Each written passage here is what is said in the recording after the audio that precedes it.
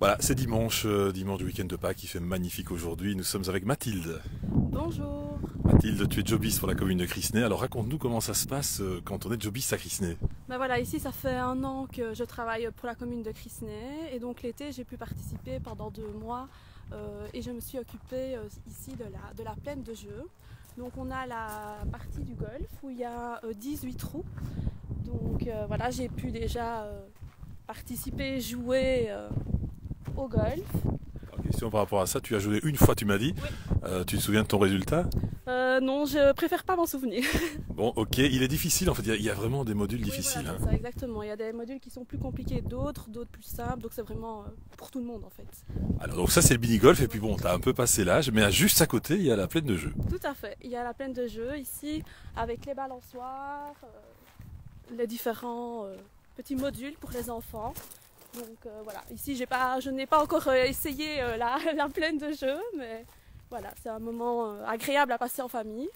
Il faut savoir que la plaine de jeu est ouverte tous les jours, donc euh, 7 jours sur 7, même si le bar n'est pas ouvert, c'est ouvert, c'est accessible. Bon, jusque 20h, après il faut fermer. Le revêtement, ce sont des copeaux de bois pour limiter les risques d'accident.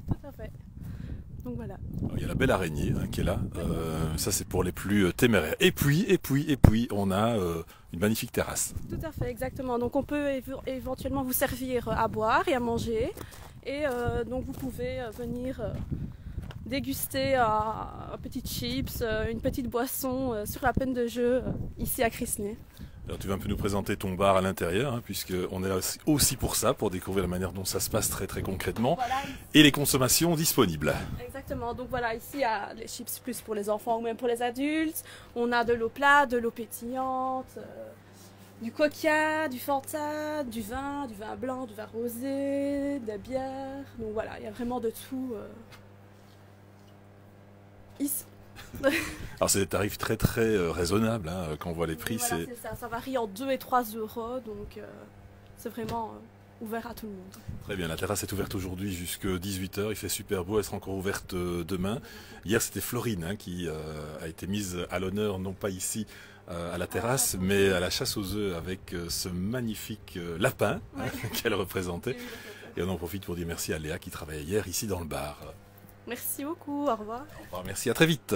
Et puis vous êtes attendu ici euh, au bar, à la plaine de jeu et au mini-golf.